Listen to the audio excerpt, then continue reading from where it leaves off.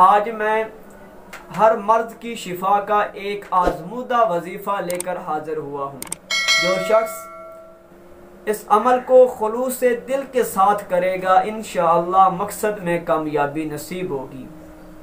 अमल ये है कि बावजू हालत में बारिश के पानी पर सत्तर मरतबा आयतुल कुर्सी पढ़कर दम करें। यह दम किया हुआ पानी मरीज़ को हर रोज पिलाए। इन ये पानी पीने से हर तरह के जिस्मानी अमराज में इफाका होगा।